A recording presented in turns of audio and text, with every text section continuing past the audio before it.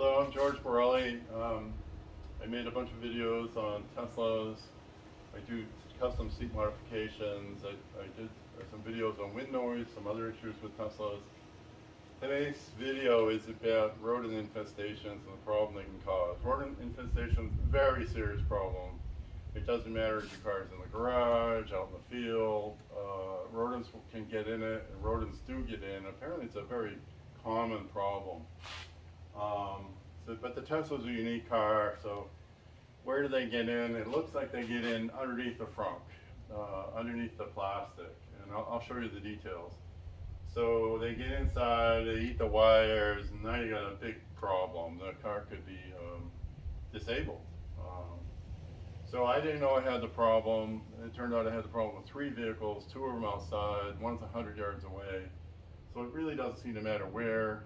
Um, comes the right time of year, cars are cool for rodents.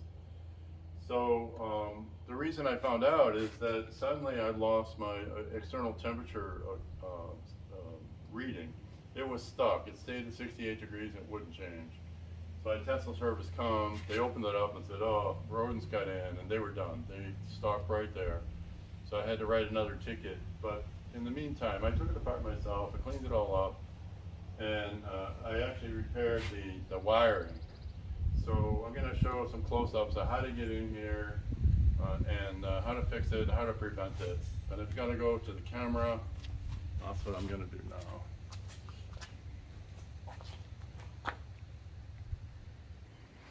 Okay, I'm over at the camera and I'm going to get some close-ups. So the frunk is covered by this large piece of plastic and these smaller pieces of plastic.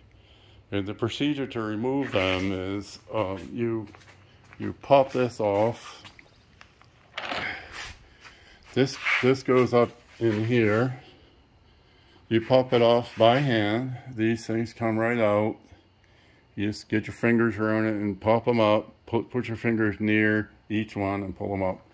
This will come out. And then it'll expose the top. Then next you pull this out.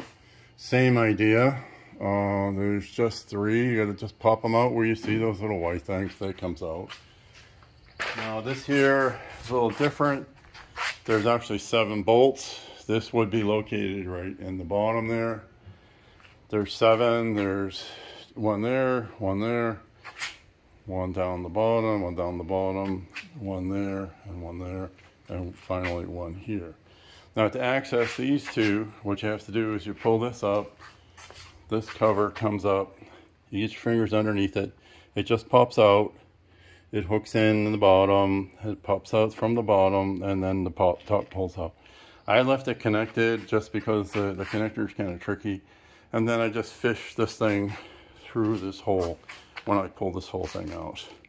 You need to pull this whole thing out because you won't be able to see um, so what I found when we pulled it out, we were looking at the temperature sensor. The temperature sensor is actually right there. I'm shining a light.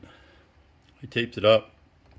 For now, I did I did repair the wiring. That whole harness that goes all the way across should and can be replaced, but I'll have to buy it. Either Tesla will install it or I'll do it myself. But what I found was there was major nest right down in here and right over here.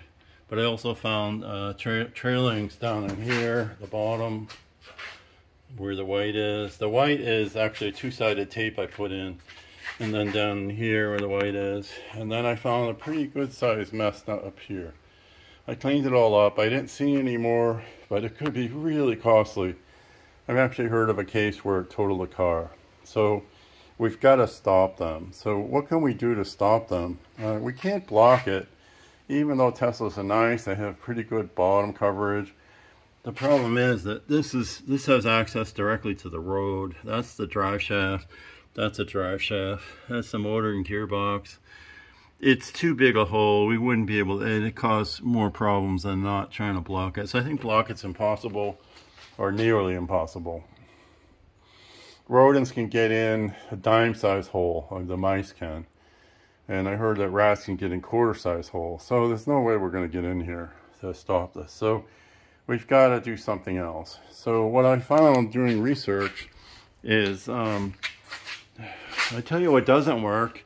What doesn't work is um, Irish Spring doesn't work, mothballs don't work, dryer sheets don't work, and vanilla extract doesn't work. Do not use them. Uh, this guy, Sean, did a lot of testing, and the testing is very, very good. So the only thing I saw that worked is peppermint. So I bought peppermint essential oil. I put drops down in here, drops over here. I think this plastic is, is resilient enough uh, to oils. So I don't think it's going to eat anything. Um, I have some down there now. Um, let's see. No, it's it's not. It's not gonna. It's not gonna hurt it. So this is just peppermint, and and you know it's probably diluted in some kind of oil. But this stuff has to be somewhat oil resistant to put in a car. I also put double-sided tape. I don't know if that'll work, but down in there is double-sided tape down here is double-sided tape. At least it'll annoy them if not stop them. Um, so between the peppermint and the tape, that's what I've done to the car.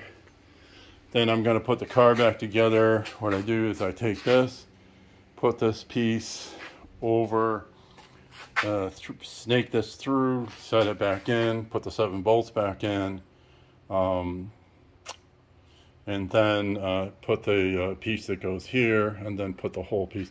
These just snap back in. Um, the big piece does snap in a little bit, but just in these corners. There's a snap here, and there's a snap here, and there's a snap over there. Uh, that's about it. The rest of it's held in by um, by the bolts, 10 millimeter bolts. Um, just use a socket wrench. Um, so then once you get it in, you snake this through, and then I just press this in, and this just snaps in as well. Then you're back in business. The other thing I did, and I don't know if it works, but I um, I got these uh, plug-in, like that thing right there is a plug-in ultrasonic repeller. I don't know if that's gonna work. It's a pretty big garage. Got one there, got one there, and I got one over over that side and I think I have one over there too yeah there's one one in there so all around the front area of the garage I put them in. But I'm also going to put an ultrasonic sensor uh, um, repeller uh, in the car uh, this compartment uh, which would have been the engine compartment in an ice car. We'll see if that works. I'll have to report later. Um, so hopefully this is helpful. Um, rodent infestation is terrible. It can ruin your car. So take take precautions now. Do what you can to prevent it. Um, uh, it, it, can be very, very costly and very upsetting when your car's not working and it may break down on the road. So please, if this helped you at all with your Tesla, please uh, subscribe. I need subscriptions um, and I need likes. I just don't have that many. I know a lot of people get some value out of my stuff but there's very few subscriptions. Uh, need more. Thank you so much. Bye bye for now.